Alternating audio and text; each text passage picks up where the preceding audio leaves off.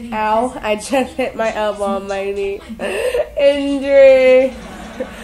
Alright.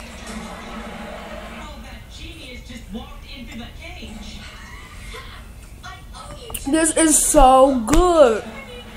My mom always knows how to make breakfast for me.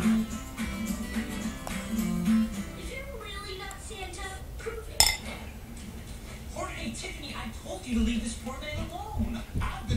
I've been asking him to leave for three hours straight. With a couple cookie breaks. Yeah, sorry. We would have been here sooner, but you know, this one. BTW, this water, it was cold. And then I spent eight hours in my room. Along with two honey buns and one cookie. Unpackaged.